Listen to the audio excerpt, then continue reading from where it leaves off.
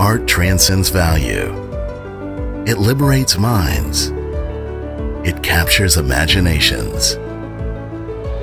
But beyond the canvas, beyond the brushstrokes, there's one element every masterpiece needs.